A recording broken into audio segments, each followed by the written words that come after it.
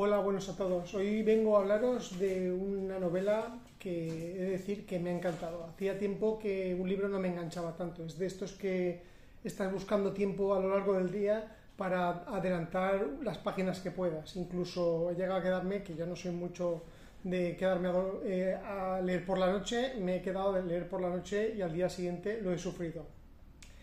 El autor es Joel Dicker, muchos ya lo conoceréis, tienes eh, la novela, yo no me había leído ninguna novela suya, eh, me la recomendó mi hermano, eh, me habló sobre el autor, tiene una anécdota muy curiosa, con 15 años presentó un trabajo, una novela, no sé lo que era exactamente, a un concurso y no le dieron el premio porque pensaban que era un plagio, que con 15 años alguien no podía escribir una cosa como la que escribió él. Y efectivamente, esto es una novela, yo he leído ya dos suyas, he leído esta, que es el libro de los Baltimore, y también he acabado esta que tenéis por aquí, Un animal salvaje. La verdad es que no tienen ninguno, nada que ver una con la otra. Una es más de misterio, thriller, intriga, y esta es una novela un poco más costumbrista y que ahonda más en, en los personajes, en el carácter de los personajes, cómo van evolucionando. Al final la historia de Marcus Goldman y su relación con su primo y con la familia de su primo. Cómo se eh, relacionan ellos desde que, tienen, desde que son pequeños y tienen conciencia el uno del otro y cómo va evolucionando esa relación.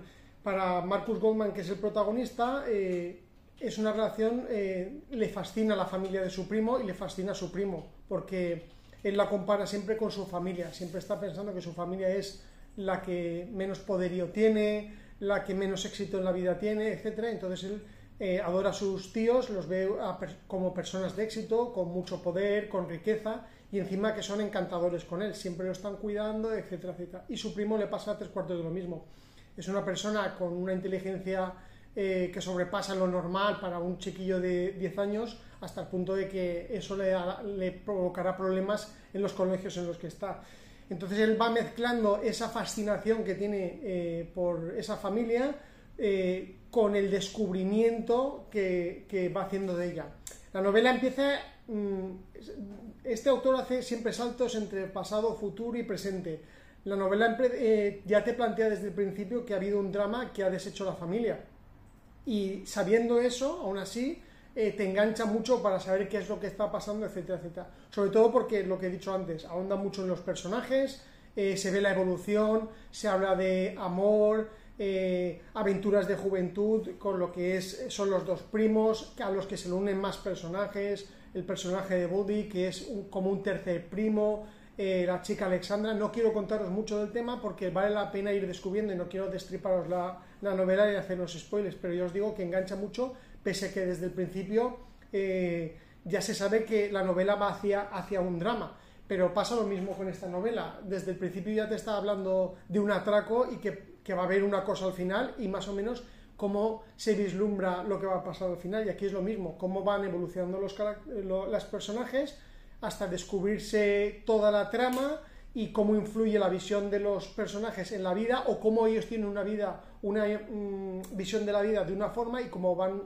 creciendo se descubre que esa visión no era exactamente la, la, que pensaban los demás que tenían cada uno. No sé si me he expresado con, con claridad. Quiero decir, eh, por ejemplo, Marcus Goldman eh, piensa que los primos son de una forma y los ve de una forma, pero luego se va descubriendo que esos primos eh, y la chica que aparece, que se llama Alexandra, etcétera, no veían la vida como la estaba viendo él. Entonces es un, poco eh, lo que estaba diciendo, cómo enfoca cada uno la vida, cómo va cambiando ese enfoque, las envidias, los amores, etc.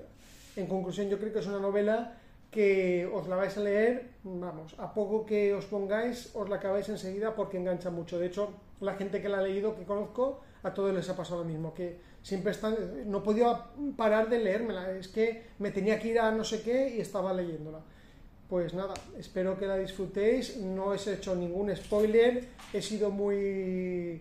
Eh, me estoy reteniendo porque es una novela que me apetece contar y hablar. De hecho, he podido hacer esto porque con la gente que, la ha leído ya he podido hablar largo y tendido del tema porque es una novela que da para hablar del tema. Pues nada, que la disfrutéis.